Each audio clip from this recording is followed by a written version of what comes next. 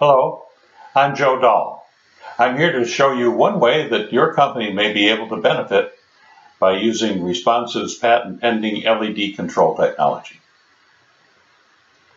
Of all the uses for responsive technology, the one that seems to get the most interest is its ability to dim non-dimmable power supplies controlling LEDs. Many people think this is impossible, but that's obviously because they haven't become acquainted with Responsive's technology.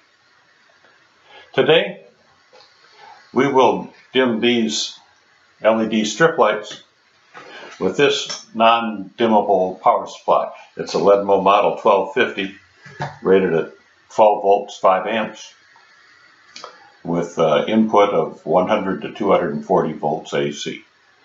It recently sold on Amazon.com for $9.49 and appears to be representative of widely available designs uh, on the market.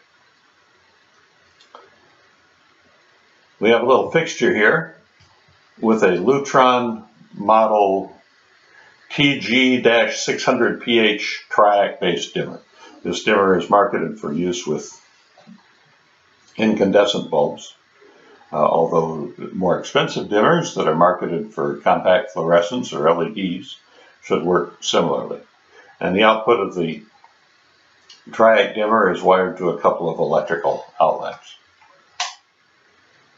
When I turn the dimmer on, it lights this incandescent bulb, small incandescent bulb, which shows you the effect when I pull the dimmer slider down and push it back up. And as you expect, the bulb gets dimmer and brighter. Well, that's no big surprise so far. Now, let's see what happens before we look at responsive technology, what happens when we just plug our non-dimmable power supply into the triac dimmer and its output into the LED strip. We flip it on and start attempting to dim and you can see that the incandescent bulb does in fact dim while the LEDs remain pretty much at full brightness. Maybe they dim just a little bit and you start to hear humming noises coming from the power supply. This is obviously not the use scenario that the designer of the power supply had in mind. Well, we intend to dim this power supply with the assistance of an external dimming adapter. Uh, that means we won't have to alter the power supply itself in any way. Uh, now you can build a similar adapter uh, to work with several designs, or you could integrate the components of our adapter uh, in, into the design of your specific power supply for better form and economy. Our adapter has at its heart a small microprocessor. It's an Atmel model ATtiny85 microprocessor. And uh, we've used a circuit here from our commercially available LED strip dimming adapter. To that circuit, we just added a couple of components, an, an infrared uh, optical isolator and a resistor with a cord to connect that to the AC line. Now on the microprocessor, one of the pins is used to sense the power signal. And by connecting these extra couple of components, uh, in addition to sensing the DC power supply level like it normally does, it'll also be able to evaluate the signal from the AC line. Now the, the basic scheme here is that uh, it will detect those characteristics imposed by the triac dimmer and generate appropriate pulse width modulation for the LEDs. So I'm going to plug the output of our adapter into the LED strip and the output of the power supply into the adapter. When I switch on, you see that the incandescent comes on immediately. The LEDs come on after a small startup delay from the power supply. And now as I pull the slider down, the bulb and the LEDs dim with approximately the same profile. If you look closely, you see that the profile is not quite exactly, precisely the same.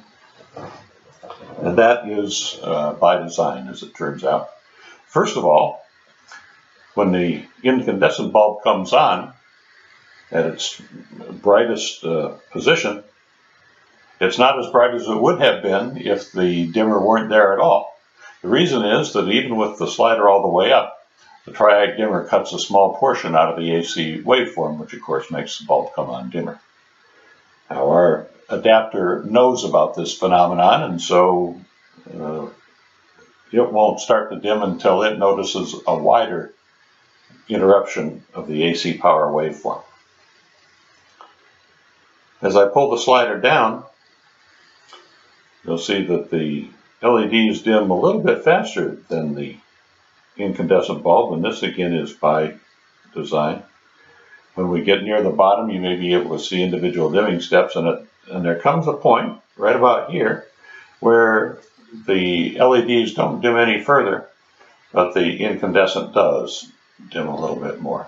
and then when I push the slider back up, there's a, a little dead range before the LEDs begin to brighten again. So uh, uh, there's a there's a a good reason for this, and uh, although it may not apply to your situation. First of all, we can choose pretty much any dimming profile we want. You can think of this as a compressed dimming profile. We use less than the full range of the slider. Uh, when we when we turn on with the slider all the way uh, in its brightest position, we'd like the LEDs to come on at 100%. So we want to wait for a little bit of slider motion before we begin to dim. As we dim down, it's important that we reach our dimmest level before the power supply conks out. Now, it's all the way to the bottom and our LEDMO power supply is still operating, and it usually does, but sometimes it doesn't. Of course, if the, if the power supply stops functioning, then the LEDs will go completely out until sufficient power is restored. That's not really an operational difficulty for users. Uh, in, in our particular design here for the demo, we've chosen to use 60% of the slider motion as our active range. Uh, some power supplies may require no compression at all. But even within that range, there is enough control that if you want to make the bulbs just a little brighter or just a little dimmer, you can do that with ease. So there you almost have it. But there is one other consideration that you must take into account if you want to uh, dim LEDs with a triac control. Recall that the triac dimmer performs its function by interrupting portions of the AC waveform. The more it interrupts, uh, the less of the time the load is connected to the AC line. So with incandescent bulbs, that means uh, a less amount of lighting you get. Now you would expect that during that uh, period of time when the AC is disconnected from its load, that the AC voltage on the line would be zero. That is a, a very good way to have it work because it makes it easy for our power detection circuit to detect when the uh, triac has disconnected AC power. But that expectation doesn't always hold for the, these LED power supplies, and this LEDMO model is an example of that. The reason is that uh, some power supplies, including this one, during the power off portion of the waveform, feed some reactive currents back into their power pin. And of course, when the AC line is disconnected, its high impedance, even a tiny amount of reactive current can produce considerable voltage. And that voltage can confuse the power sensing circuit and make the dimming not work so well. Now, even though our LEDMO power supply does have that problem, you haven't noticed it so far in our demo. That's because the little incandescent bulb here has done a fine job of absorbing those reactive currents and uh, prevented them from causing a problem. But if I disconnect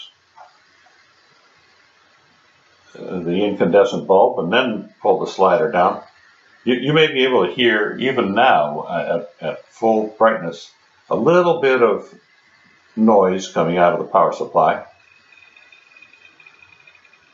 And as I pull it down further, uh, quite a bit more noise comes out and the dimming performance is very poor. Well, if your power supply has this problem with reactive currents, there are a number of approaches you can take. Uh, for our LEDMO power supply, it turns out that a 2700 ohm resistor will suffice and uh, basically perform the same function that our incandescent bulb has performed for the demo here. The 2700 ohms across 120 volts consumes five and a third watts. So that may be acceptable. But if you're uh, if you have a, a power supply like this that starts out at say 85% efficiency and consume another five and a third watts, that would bring it down to 79% efficiency. Uh, you might start thinking about whether that really is acceptable. If it isn't, and if your power supply design is affected by that problem, there may be several other design approaches to tackling it. For example, uh, you may be able to suppress the unwanted reactive currents with a reactive network instead of a resistor, or you may be able to isolate your reactive components from the power line. You might even be able to generate an appropriate power sensing signal from the reactive currents. But one way or another, the power detection pin must be able to detect when AC power is and is not connected to the AC power line. Well, I hope I've convinced you that full-featured LED dimming is a practical reality today with responsive technology. Visit our website at responsiveled.com and fill in a contact form for personal response. Thank you for watching.